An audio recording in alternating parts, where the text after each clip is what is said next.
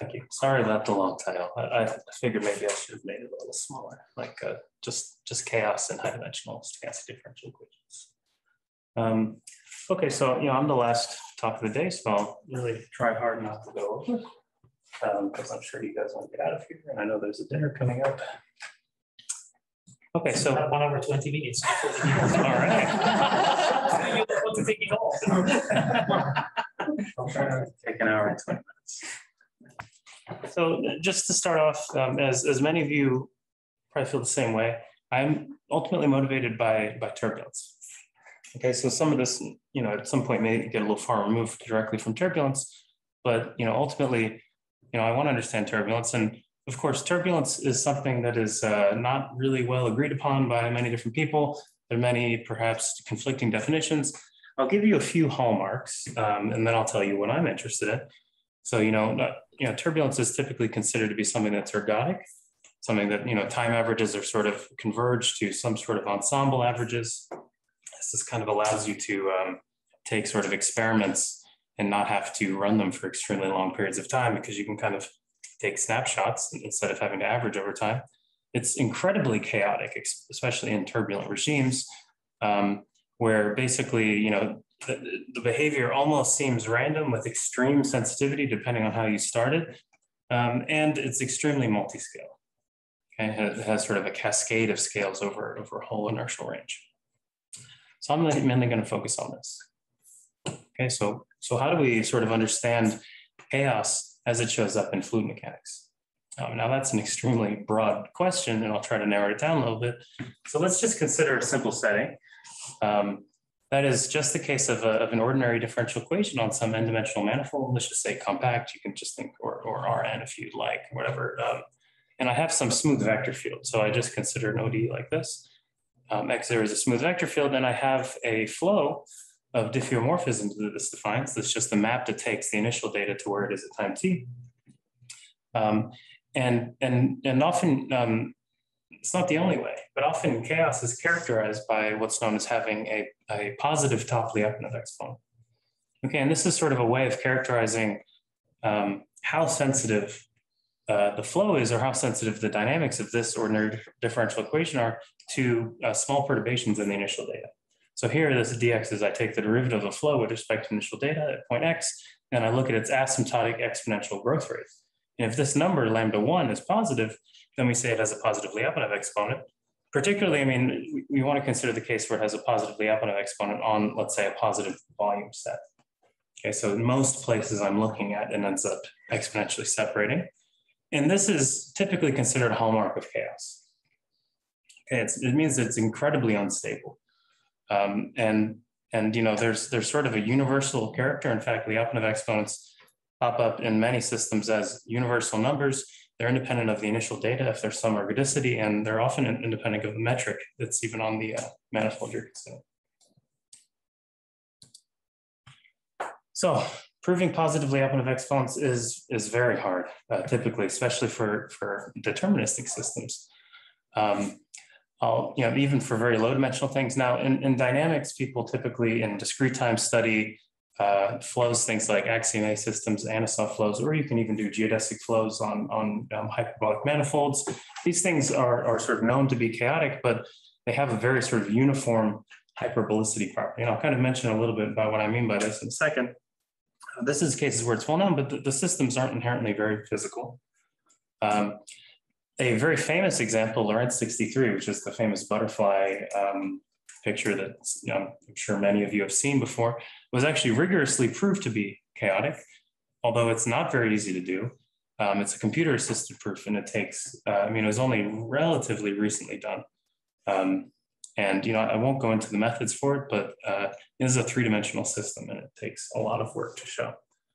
Um, and there's many, many, many simple systems that are left open. So uh, standard map as, a, as what's known as the kicked rotor. It's a Poincare section for the kicked rotor. The ABC flow which is just a three-dimensional uh, trigonometric polynomial, essentially, or, or what's known as the Lorenz 96 system. These are all relatively simple systems who, you know, you have no clue how to prove that they have positively Lyapunov exponents. It's a very hard problem. Um, here's just a picture to see sort of what it looks like. This, I think, is a, is a picture of the Chirikov standard map.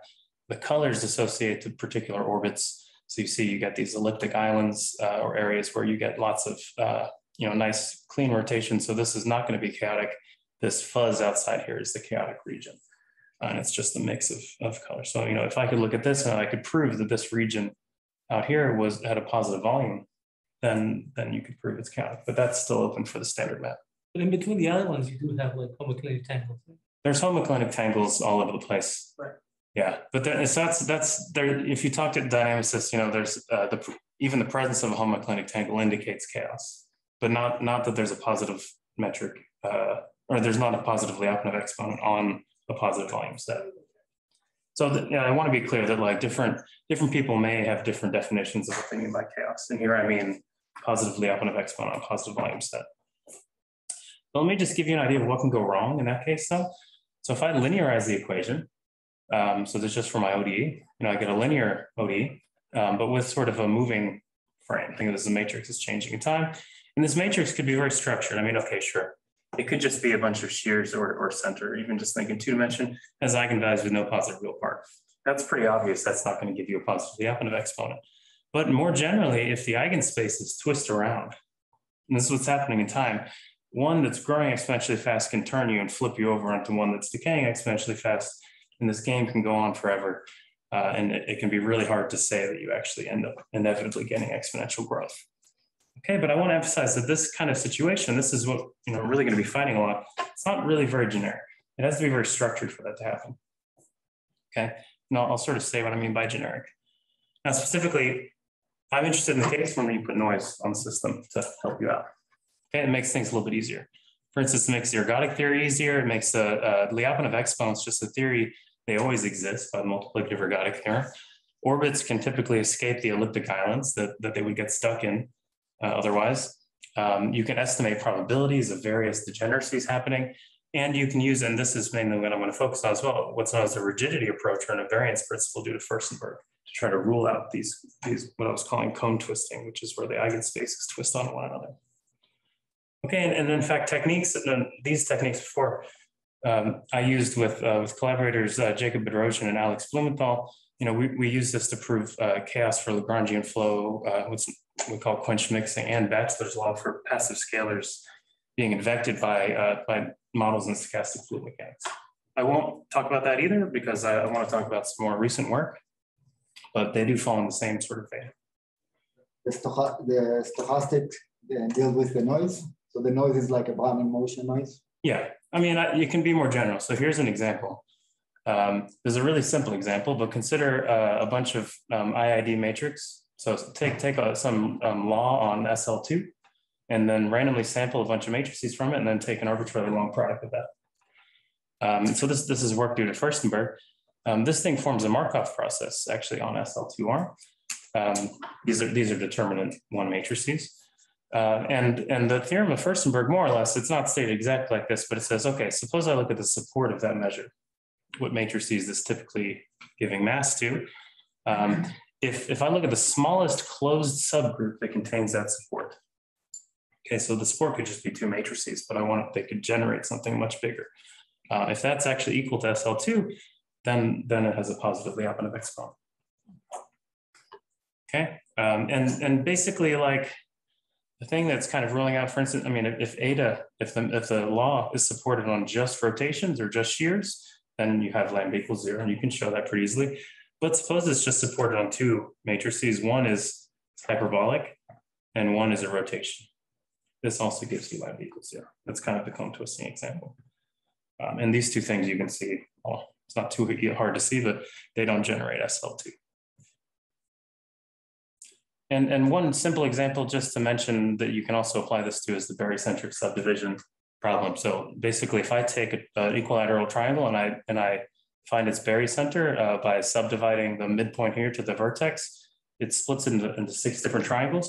If I repeat this process in all the triangles, you know, uh, over and over and over again, you get a bunch of very small triangles, but they all start to have different shapes. So some of them have very long, skinny shapes, and some of them are a bit more fat.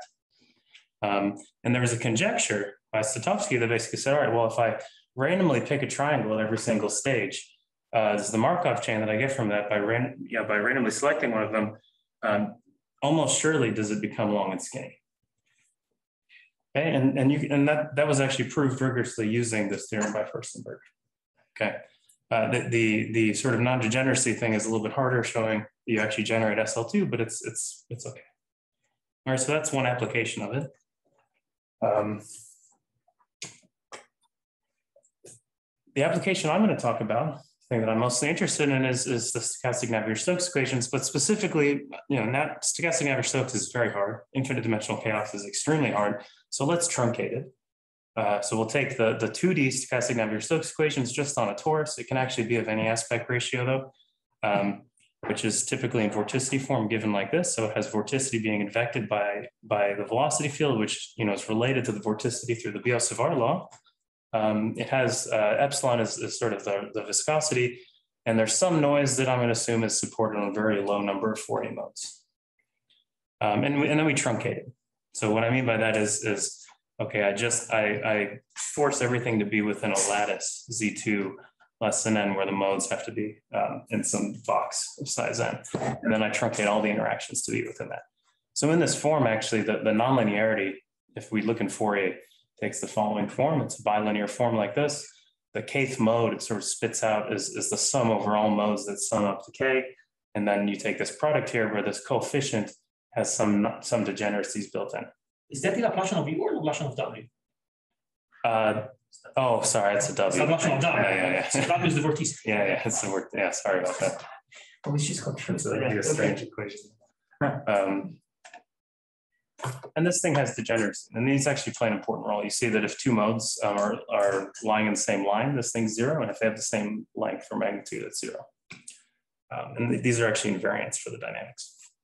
Okay, but in fact, we proved that, that uh, if you look at the top Lyapunov exponent for this um, SD, then if you take epsilon small enough, uh, lambda over epsilon goes to infinity. Our is actually then depending on big N. On big, it's fixed for any fixed n. Uh, But it no, some dependence, right? I mean. Yeah, yeah, I don't know how, we don't, how lambda depends on it. Right, I have no I don't have an idea. No, that would be nice. I mean, th- then there's some hope you could do infinite dimensions. Yeah, that's why I asked. Yeah, yeah. I don't know how to quantify that. Uh, there's enough, I can mention maybe a few places where, where it's hard, but, uh, and so, okay, I don't have too much time, uh, of course, but, so what I, what I will do is just give you an idea of sort of how, how we prove this, and, and I'm gonna just go back to a more general setting of stochastic differential equations.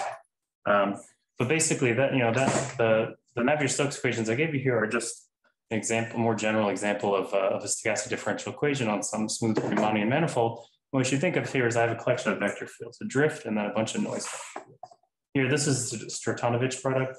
You don't know what that is, don't worry too much about it. It just sort of says that this thing has a nice product rule, that you don't have to get extra Itô terms if you don't want to. Okay, so I have a collection of vector fields. I have a stochastic flow of diffeomorphisms with it. And, and what we want to do is we uh, naturally, and this is sort of how Furstenberg did it as well, and, and there's a number of other works to do this, as you lift the whole process up to the sphere bundle or the unit tangent bundle. Okay, and you do this for just a really standard lifting. You look at the linearization of the vector field as well, and then it has sort of a, a matrix action on the unit sphere. Okay, so now we have these lifted vector fields. Um, and, and basically, there's a really nice relationship between the top Lyapunov exponent and um, either entropy or, or, in fact, the more important one for us is the Fisher information.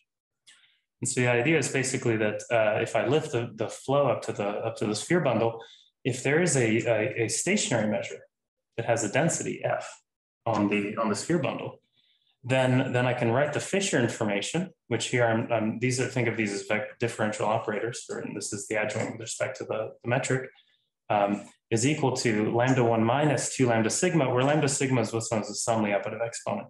So it's just the asymptotic sort of volume compression. Um, so it, it's or expansion in this case. Okay, so you're, you're always subtracting. This is another thing that fails in infinite dimensions. If you uh, lambda sigma is always infinite in infinite dimensions, and it's not easy to, to get rid of it.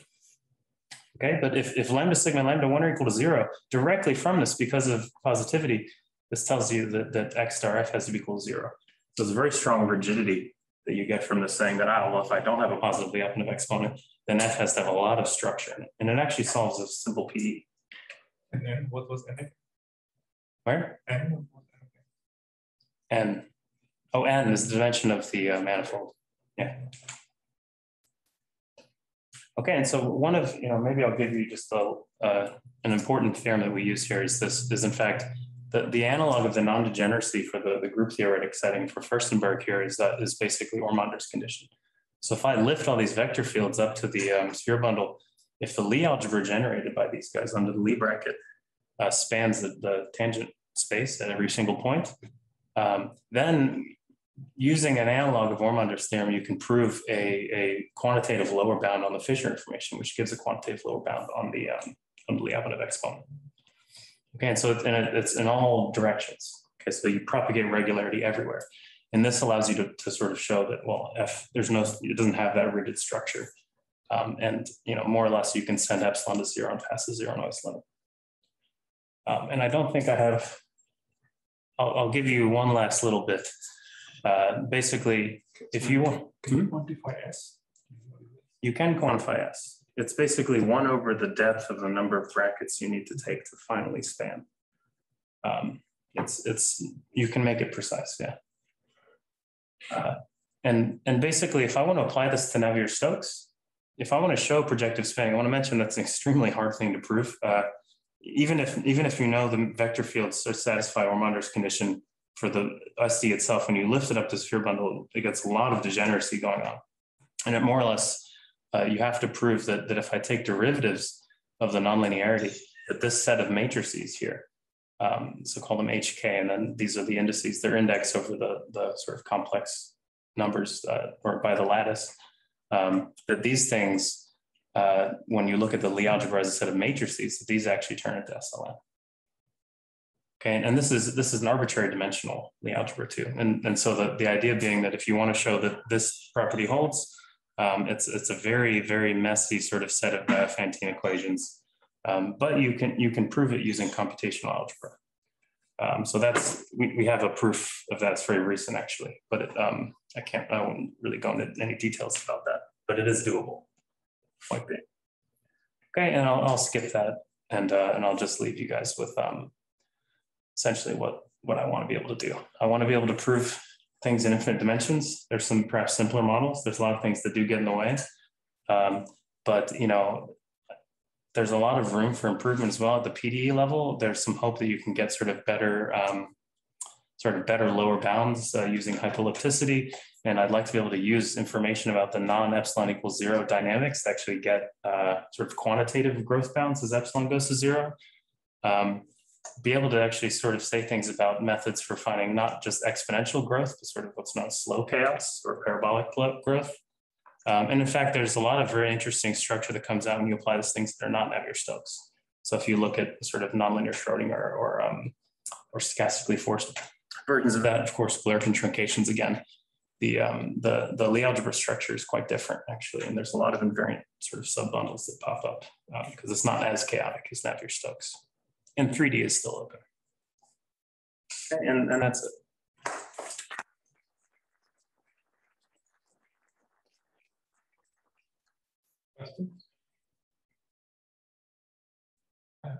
So what's the biggest obstacle in 3D? Um, uh, just the, I mean, I'm, I'm sure it's doable. It's just a big mess. But the the algebra gets really unwieldy. Um, I think of maybe a good dedicated grad student could probably do it if you had enough time. Um, but I, I don't think it, there's any real obstacle in 3D. Yeah. So isn't the fact that you miss the uh, velocity formulation going to mess it up, or are you thinking of formulating with the vectorial velocity? Uh, yeah, I wouldn't do it. Well, yeah, I could do it in vorticity actually. I, I think it's it's yeah, the nonlinearity doesn't come out as cleanly, and and there's sort of um,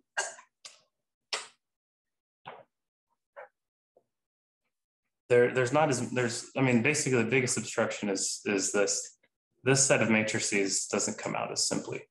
Um, it's probably possible to to do it, but somehow when you're working in Fourier uh, in three dimensions, you have you don't have as, as nice a Fourier ba- or sort of a basis either. You have sort of you have to consider two different um, arbitrary directions in, in, which you're you're considering a basis for, and that just seems to make it uh, tricky, I guess. But again, I, I, don't think there's anything any real obstacle there other than just um, it's kind of messy. Just because it's funky. The- So the truncation, actually, that's a, that's a really uh, good point to, to bring up, actually. So this whole proof for, for proving this thing generates, it actually is easier if you send n to infinity. So it's in, almost inherently infinite dimensional. Um, and that's kind of why it works for any n.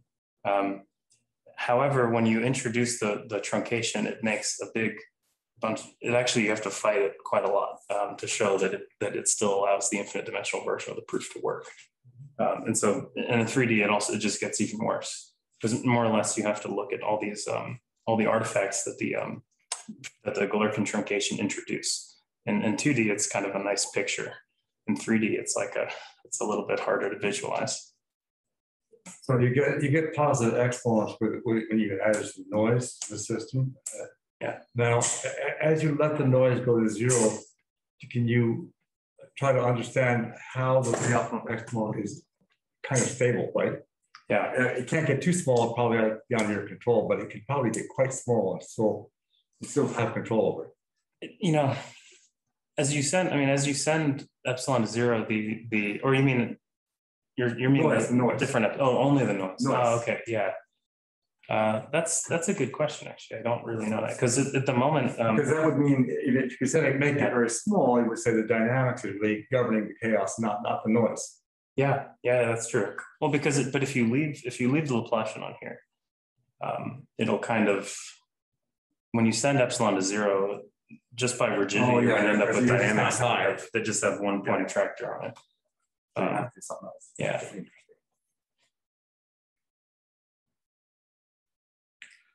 Okay, thank you very much.